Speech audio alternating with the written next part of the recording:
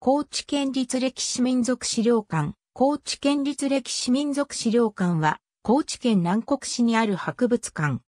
高知県の歴史、考古、民族に関する資料等の調査研究、収集保存及び展示を行う機関である。1991年に開館。高知県初の歴史を中心とする資料館として設立された。資料館の所在地は四国の戦国大名、長宗我部氏の居城であったお工場の跡地にあり、周辺は県指定の歴史公園となっている。おこ山歴史公園と呼ばれるその公園には、高知県角町から移築した旧味元家住宅主屋という山村民家の母屋がある。常設展としては館2階の長宗壁展示室で戦国時代関係の資料が展示されている。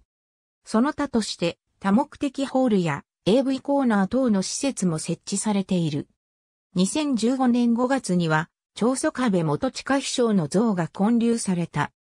指定管理者は、高知県より指定を受けた、公益財団法人高知県文化財団。同財団は、高知県立、坂本龍馬記念館、高知県立美術館等の管理運営も行っている。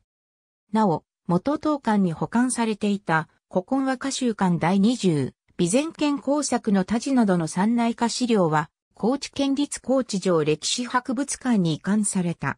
ありがとうございます。